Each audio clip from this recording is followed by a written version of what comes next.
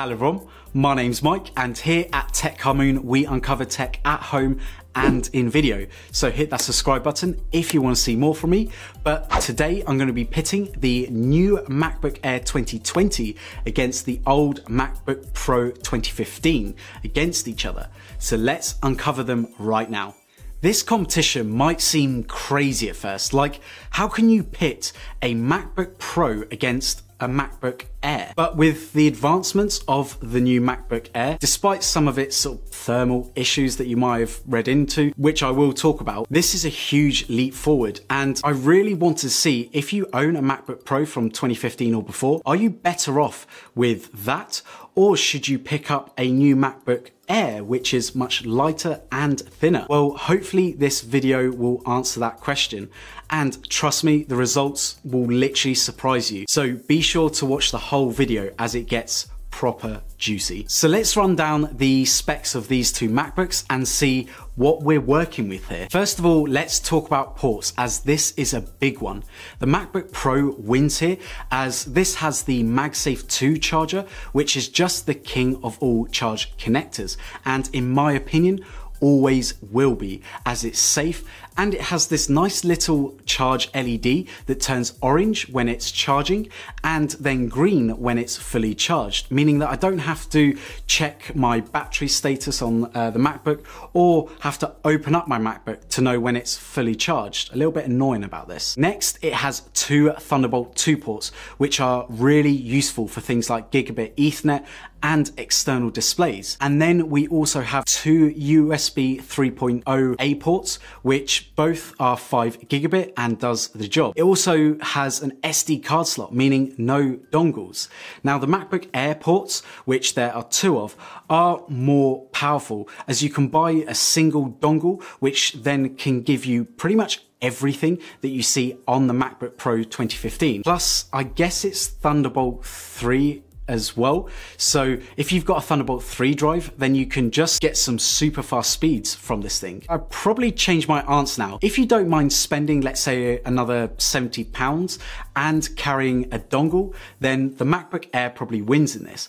If you want a product that has everything built in without having to pay anything extra, then the MacBook Pro 2015 wins in this case. Next is the design, and I think both are really, really nice. Even five years on, the MacBook Pro Still holds up well as its unibody design is kind of timeless. The MacBook Air, in my opinion, wins it though because I just love this space grey colour and it's smaller and lighter. The MacBook Air is around 0.68 pounds lighter or 290 grams lighter than the MacBook Pro and it's 0.08 inches thinner uh, at its thickest point compared to the MacBook Pro, but with its tapered design, it's actually much thinner than that. I much prefer the trackpad on the MacBook Air, but both just let you know feel absolutely identical. Also, I prefer the keyboard on the MacBook Air as it has much less travel and for longer typing sessions, I prefer it because it seems less fatiguing. By the way, here's a type test between the two for you keyboard guys out there.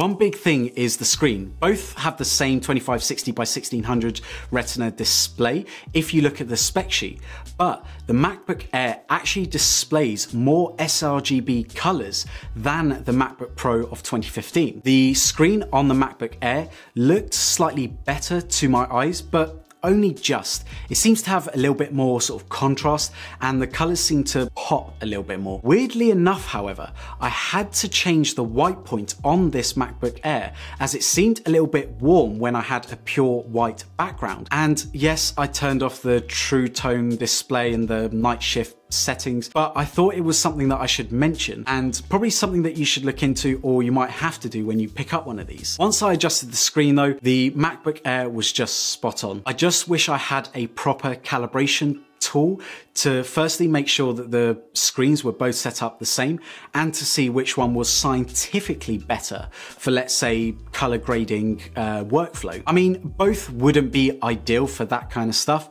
but for YouTube, let's say, like what I do, I just want the best possible image. And I think that the MacBook Air probably wins. Also, the bezels on the MacBook Air are better as they're smaller and they just feel more modern for 2020. So I would rather work on the MacBook Air screen in my opinion. When it comes to battery life, again, the MacBook Air wins here as it has just more power efficient internals. Also, the MacBook Air wins in the microphone and speaker department, honestly. The MacBook Pro speakers and microphone are just dated at this point. Here's a comparison between the two and see which one you prefer. This is the MacBook Pro webcam and microphone quality, so it's okay, but not great. As you can see, a lot of grain in the background, I've got a light just over here shining my face, but again, just a test of the grain. It's not brilliant. This is the MacBook Air now, uh, webcam and microphone. And the microphone is actually a little bit better, but the webcam is still shockingly bad. Uh, I cannot believe that even after five years, they still haven't updated this webcam. Please, Apple, Come on. So let's get into the meat of this comparison as I'm sure you guys want to know which performs better. Setting the foundation of the tests, we have an i5 10th gen Intel MacBook Air with 8 gigabytes of RAM and Intel Iris Pro graphics and the MacBook Pro has an i5 5th gen processor with 16 gigabytes of RAM and only Intel Iris graphics, not the Pro. Looking at the specs though, you might think that the MacBook Pro will probably probably do pretty well against the MacBook Air. Well, let's have a look. Firstly, here are the results for the Blackmagic disk speed test. The results are pretty much the same, so copying files or working off of these drives wouldn't be a problem at all. For the Blackmagic raw test, the MacBook Air wins as the performance is just so much better than the MacBook Pro in this instance. We're nearly seeing double the numbers. The Cinebench scores, we see the same again with the MacBook Air winning with over 100 points of difference. Novabench was the same too, with the MacBook Air scoring 67 more points than the MacBook Pro. The GPU performance on the new MacBook Air is great thanks to the Intel Iris Plus graphics.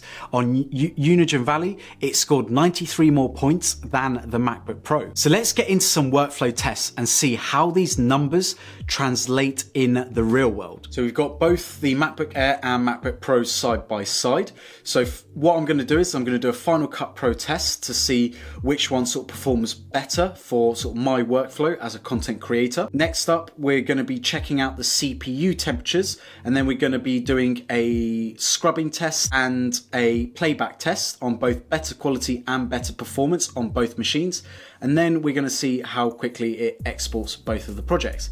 So first of all, let's check out the CPU temperatures as that is something that a lot of people have mentioned before on both machines. So the idle temperature on the dual core MacBook Pro, we've got 37 slash 38 degrees.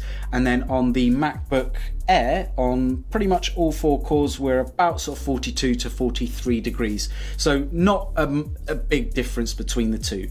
Now let's launch the project in Final Cut Pro, which is a 4K 8-bit project with two levels of color grading, a couple of transitions, as well as a sound grade. So let's see which one opens up the project quicker.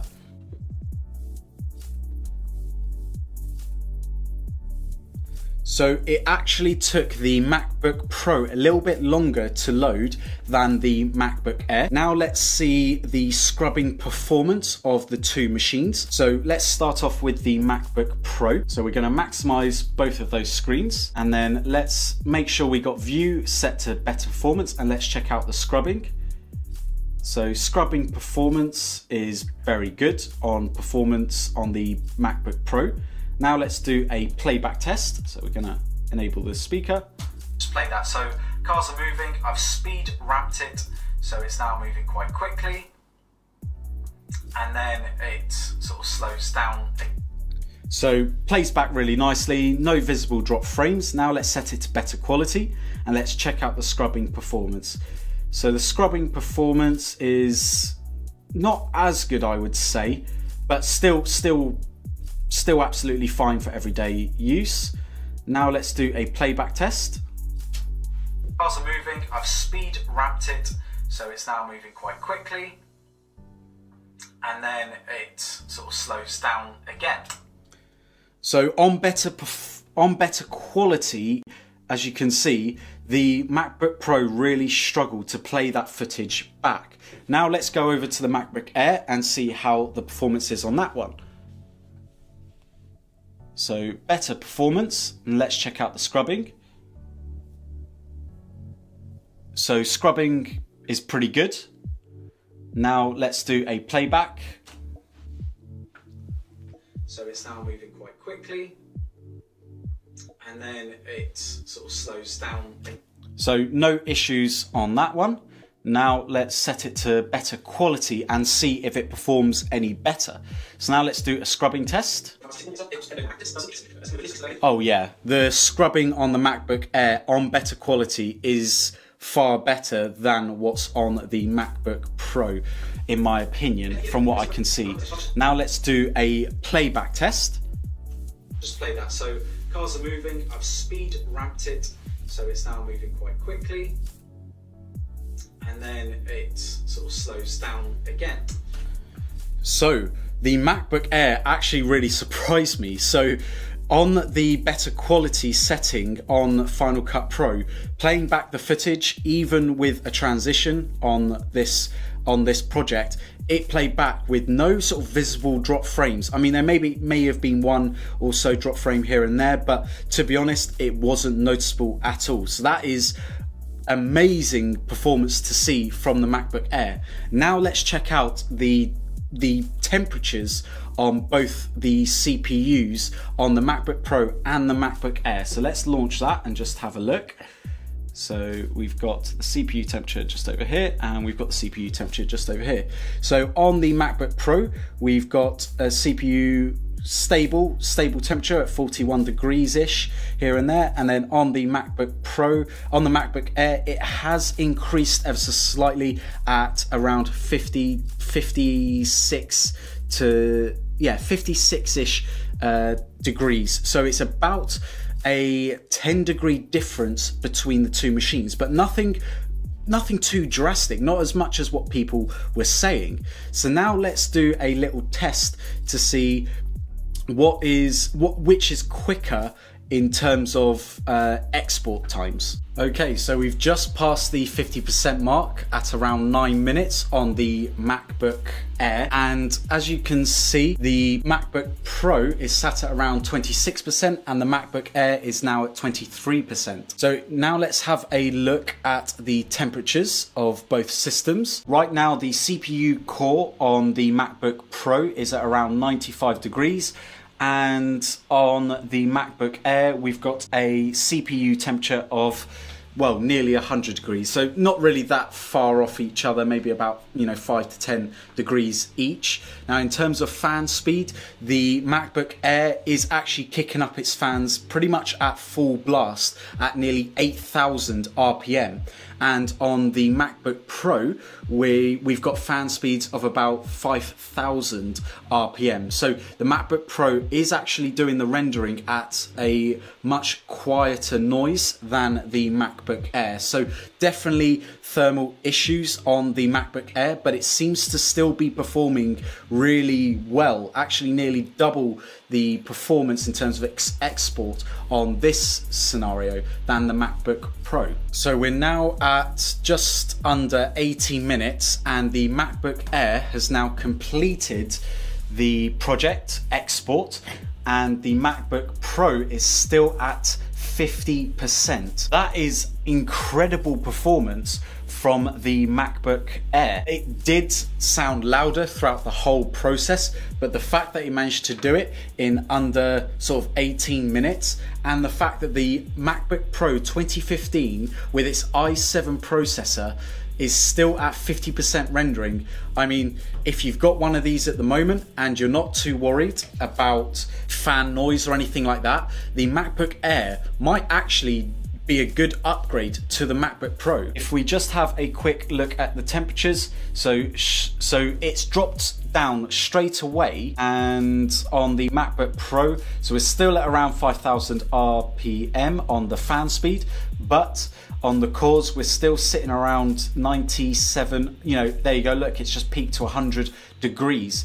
So it's definitely kicking up a lot and the fans are ramping up a lot on the MacBook Pro. So both still have, you know, issues with, I'd probably say, temperature, but the MacBook Air definitely it has a, a, higher fan speed and noise when it's rendering out projects like this. So a nine minute project taking just under 18 minutes in this case and the MacBook Pro is still going at only around 50%. So we're now at 35 minutes and the MacBook Pro has just completed the export. So this has taken approximately double the amount of time compared to the MacBook Air. So that is a big, big difference. So let's jump back into the video. Now, one comment I keep seeing about the MacBook Air 2020 is how the general performance is when web browsing and streaming content. I've put up the temperature and fan speeds of the MacBook Air when streaming Netflix in the background and having seven YouTube videos playing at the same time. And even though the temperatures are a little bit high and the fan is on, you generally can't hear the fan noise at all unless you put your ear right to the laptop. I see many people being put off by this MacBook Air because of its thermals and are worried that the fans are really loud when using this laptop for everyday tasks. But I've done the tests and for everyday tasks, you will not notice. So don't worry about this. I haven't had any issues with the fans. And yes, the thermals are on the sort of higher side, but it's not at any levels I would personally be worried about. So why did I do these tests? Well, I wanted to see if you have a MacBook uh, Pro from a few years ago, does that mean that you should still stick with it even if you are a Pro user? I think that these tests show that the MacBook Air is a capable machine and can replace your old MacBook Pro and it holds its own, even beating it with most of the tasks that I threw at it. Also, the MacBook Air has a quad core processor over the dual core processor that's in the MacBook Pro, meaning that it can handle multitasking tasks much better. If you're exporting video or doing intensive stuff, any MacBook is going to have its fans ramp up.